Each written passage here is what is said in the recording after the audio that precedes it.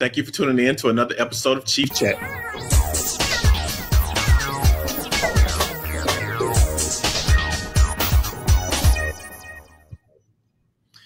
What is up, my exchange family from all over the world, and thank you for tuning in to another episode of Chief Chat. My name is Chief Master Sergeant Kevin Osby, and I'm your senior enlisted advisor for the Army and Air Force Exchange Service. Before we get started with our guest today, I would like to introduce my lovely co-host, Kiana Holloman and Emily Zarsk. How y'all doing, ladies?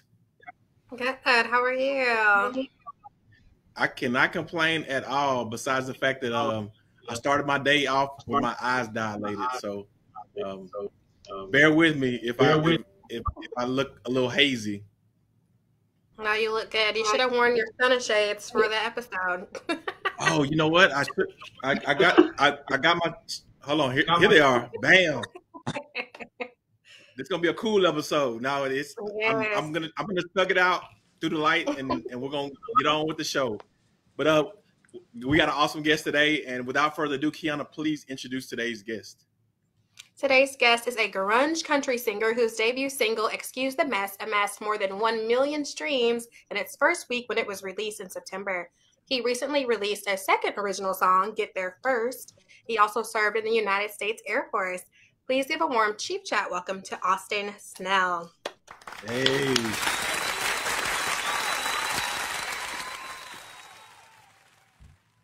Hey, how are we? Thanks for having me. Hey, how you doing, Austin? Hey, can you hear me? I'm making it, man. We had a, a less stressful day today. We kind of had some meetings. Get, yes, I kind of got some lag going on. Oh, that's all good. It, we'll we'll we'll, we'll kind of push through it if we can. Uh, so thank you so much again for joining us today, and uh, okay. it's a pleasure to meet you. And where are you joining us from? Uh, we're in Nashville, Tennessee, right now. We are uh, right downtown in the middle of all of it at the moment. Got you. I, well, I, I see I see this killer Longhorn behind you. So for some reason, I thought you were in the great state of Texas uh, since our headquarters is da- here in Dallas, Texas. Uh, but you, you're in you're in good old Nashville.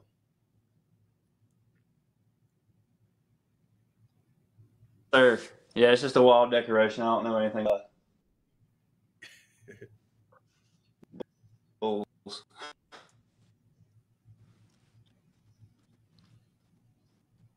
Oh, I think we got a little lag going on. No, we do. Um, if Austin is still there, we'd like to start off by hearing about how your tour with Warren Zeiders has been going and what has the audience reaction been like? Yeah, so um, we started out. Uh, this is the first weekend of the tour, so we uh, we went to Mobile, Alabama, um, did a night there at a Soul Kitchen, and then we went to Ponte Vedra, Florida. After that, and then we just got back from Fort Myers um, yesterday. So it's uh, it's been a long run of shows, um, a lot of a lot of long drives, but the crowd's been awesome. Um, Warren has some great fans, and hopefully we're putting on a good show for them. We're trying to, so uh, it's been a blast for me. It's my first experience being on the road fully, so um, I'm just taking it all in, trying to live in the moment as much as possible, but we're loving it.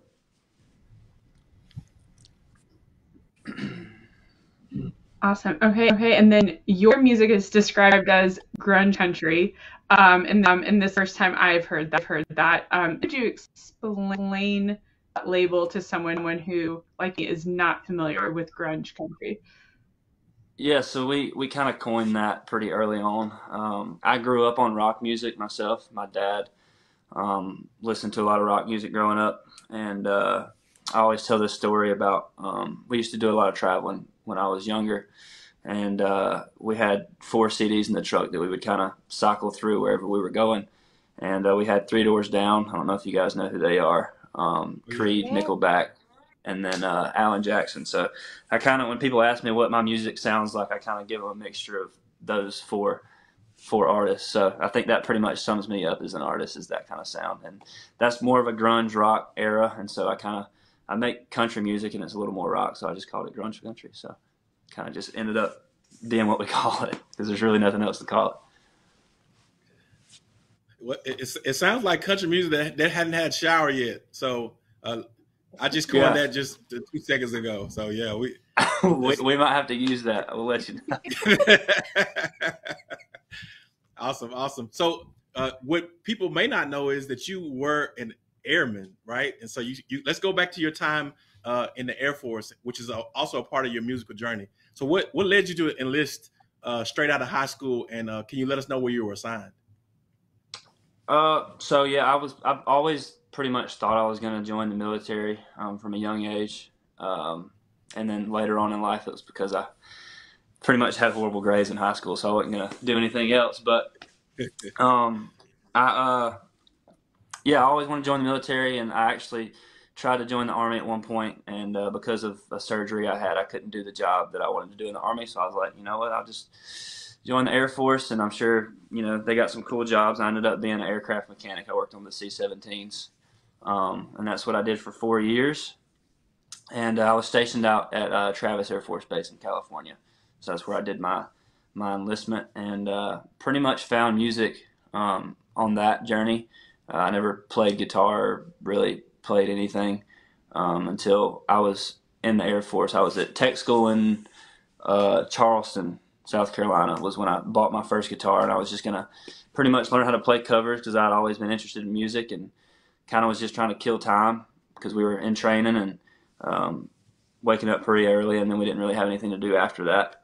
So uh, I was just trying to kill time really, and uh, ended up learning some covers and got bored with covers and um, just started trying to write my own music, and it kind of one thing led to another, and we just kind of ended up here. So, but uh, I'm, I mean, I'm thankful for the Air Force and everything it taught me about you know uh, my morals and my work ethic. I, I pride myself in that a lot, um, and I attribute that to my time in the military. So, um, yeah, and it all kind of led me here in a way.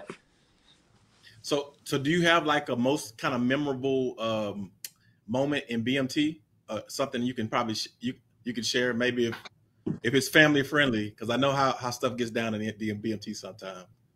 Yeah. Uh, let's see. Hmm. So I was an element leader uh, through BMT, um, which doesn't really mean a whole lot on the in the actual Air Force that you were element leader in BMT, but I was an element leader for the majority of BMT and uh, I actually got fired from my slot um, the week of graduation for slapboxing in the bathroom on my birthday. and uh, so I, I, told my parents through all my notes that yeah, I'm going to graduate front of the line. Like I'll be at the front of the flight, you know, when we graduate, and it's going to be super cool. You can take pictures, and I'll look important. And then, but I think it was literally two days before we graduated, I got caught slapboxing in the bathroom, and I got fired. So yeah. So was that your first time slap boxing, or had you gotten away with it for a couple times before they got you got caught?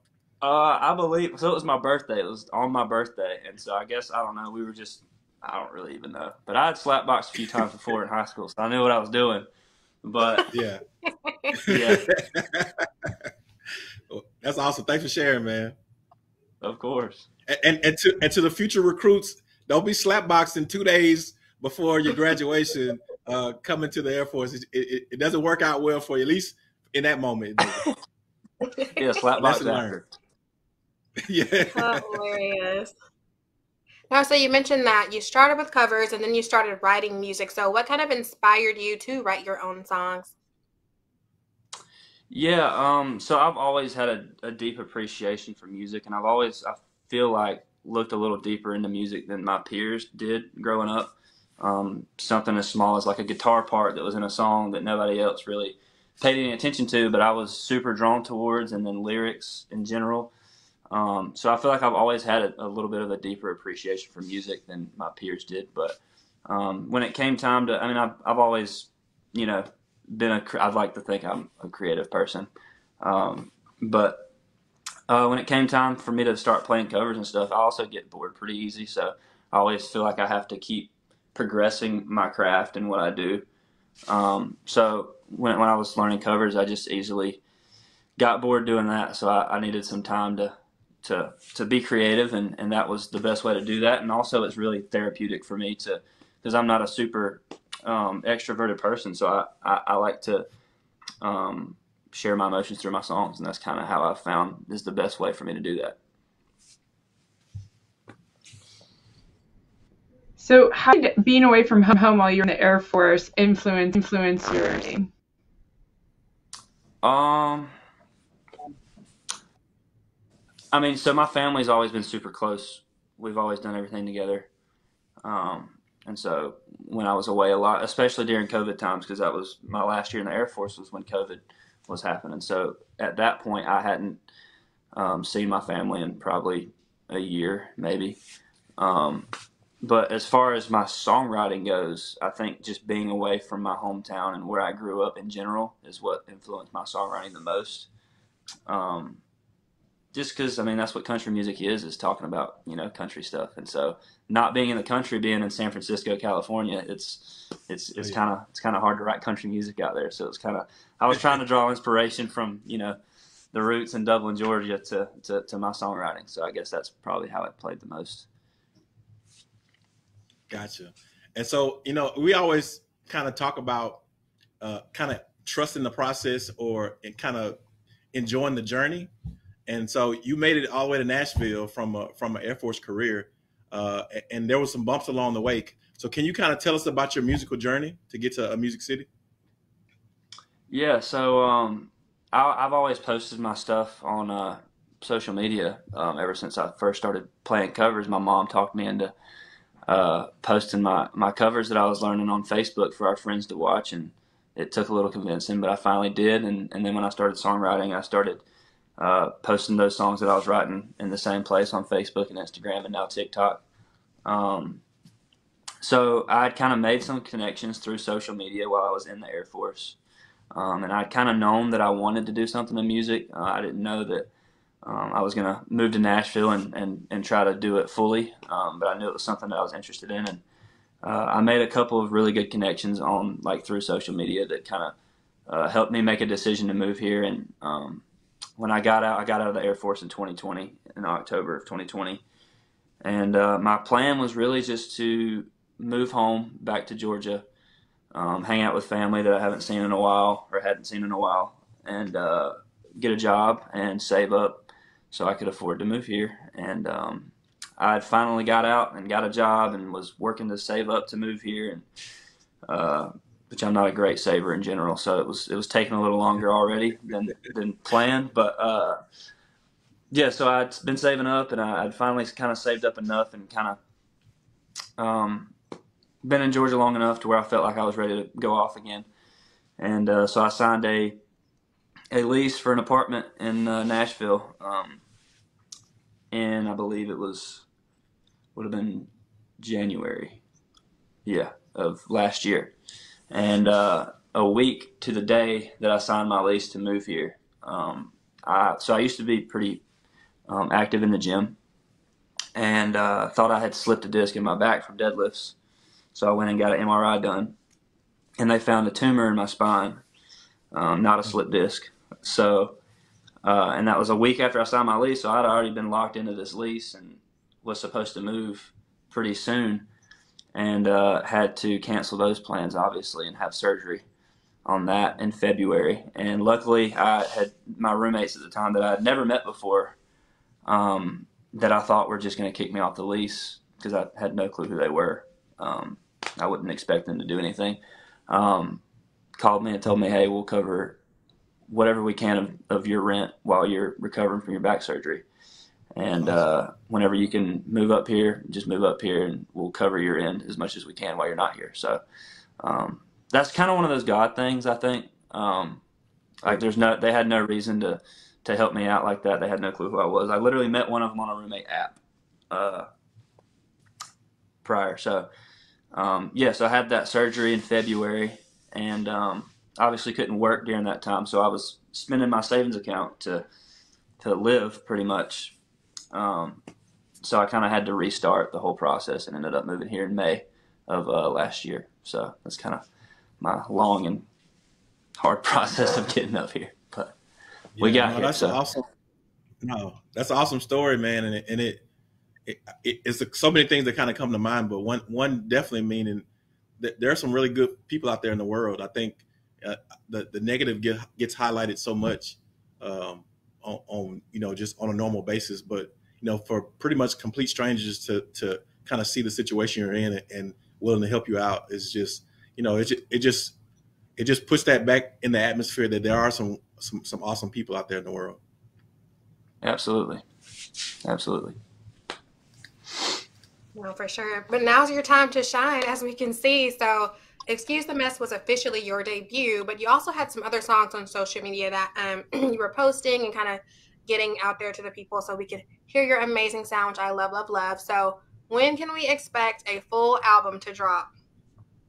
uh, we're working on it. I'll say that much. Um, we are working towards that. Um, right now, we're just putting um, songs out whenever we can, and uh, we're kind of shooting for for every you know so often every month or so to put out a song, and eventually we'll work our way to a to an album. So that's the goal for us. You know, we're always we're always trying to get some ex- exclusive stuff here, uh, Austin. So you got to forgive us. We, are trying we're trying to we're trying to br- break break some news that nobody knows about around here. I know. Hey, if you'd have caught me on my first interview, I probably would have told you. But I, have been through a couple now. So are, are, he, are, are, you media trained now, man? We got to catch you before you get media trained. yeah, no, we're working on it though. There will be a full album for sure. Awesome. Nice. And so, along with your originals, you released a, a strong of Cassadee wasting all these tears. Um, I think I played that on loop when I got dumped. That is like the ultimate like this person I've ever dated dated song like that song. And so, so what inspired that choice, and what was the reaction to it? Yeah, I think the choice was just, I mean, the same reason I played the original version of it when I got dumped when it came out in 2013. So, um, I, I, try to, I try to, uh, when I do my covers on TikTok, I used to just post them, me sitting in a truck and playing whatever I was learning that day. And uh, I always tried to do something different than what everybody else was covering on TikTok. And at the time, everybody was covering something in the orange by Zach Bryan. And so I was not going to jump on that train. I was going to do something different and uh, covered that song, and it did really well on TikTok. And it's a song that I remembered jamming to in the car by myself when it came out, and uh, which I wasn't old enough to drive when that came out. But when my mom was in the grocery store, I'd jam it sitting in the car. Um, but but uh, yeah, so when it came time to to look for a cover to put out, I mean that one had had done really well for us on TikTok, and it's a song that I love, and I thought that we could put a different spin on it because obviously Cassadee's a female, and, and I think that there there there was a cool lane for us to add a different perspective to it. So I think that's kind of what we were shooting for, and it seems to be doing all right for us. So. That's good stuff, man. So your songs kind of have big guitar, bass, and drum sounds. So can you kind of tell us about the musicians and producers that you're working with? Yeah, uh, we're so I mean we're kind of in a in a weird time with music at least in country music, and I feel like a rock wave is is amongst us right now, and I feel like there's a super wide open lane for it.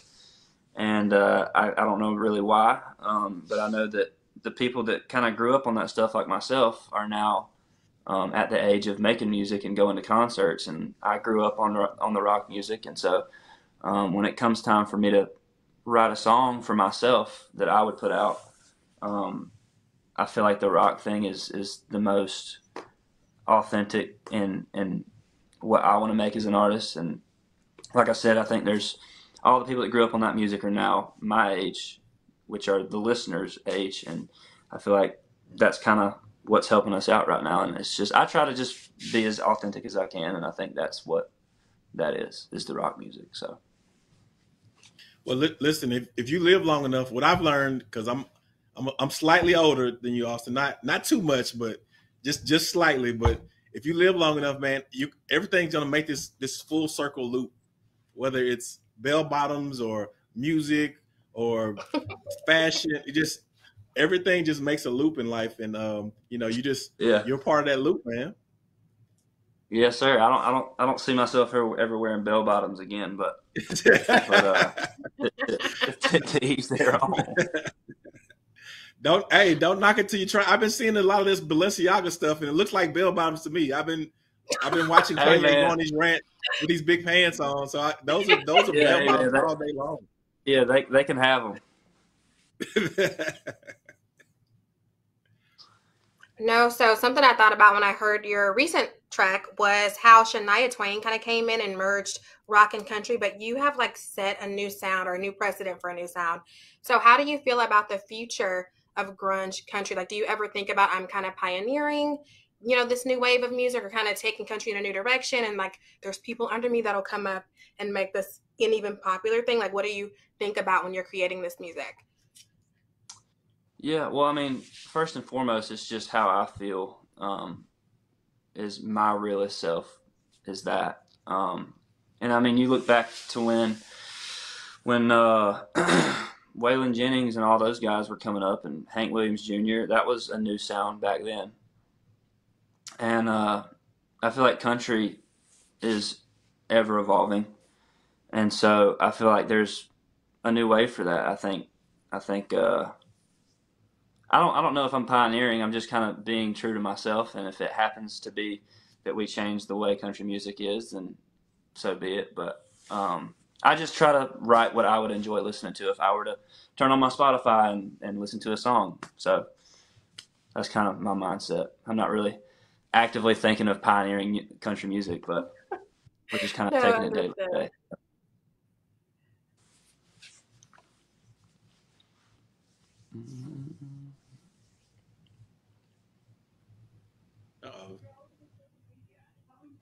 I think we're I think we're on Emily. Emily, we're, Oh, I'm sorry. I I was my turn.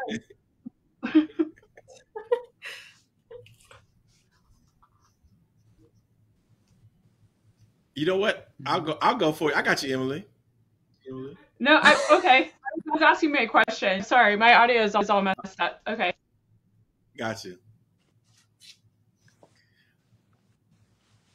Well, Austin so you said that you don't you don't mind, I guess, pioneering, uh, or whatever the case may be. So, you know, as when I when my kids kind of are listening to music, I'm I'm in the older generation, so I'm like, I don't understand what what the, what what what you like about this. But then I think back about when I was growing up, my parents was like, "What the heck, heck you listening to uh, this, you know, rap music or whatever the case may be?" And so, you know, having having the the older generation accept kind of the younger generation's take on you know because you, you got your country music purists out there that are you know that's just it is what it is. They like what they like. And so like how do you, are you just targeting younger folks or, or do you do you want to bring in some of those uh, kind of country music purists uh, at, in your fan base?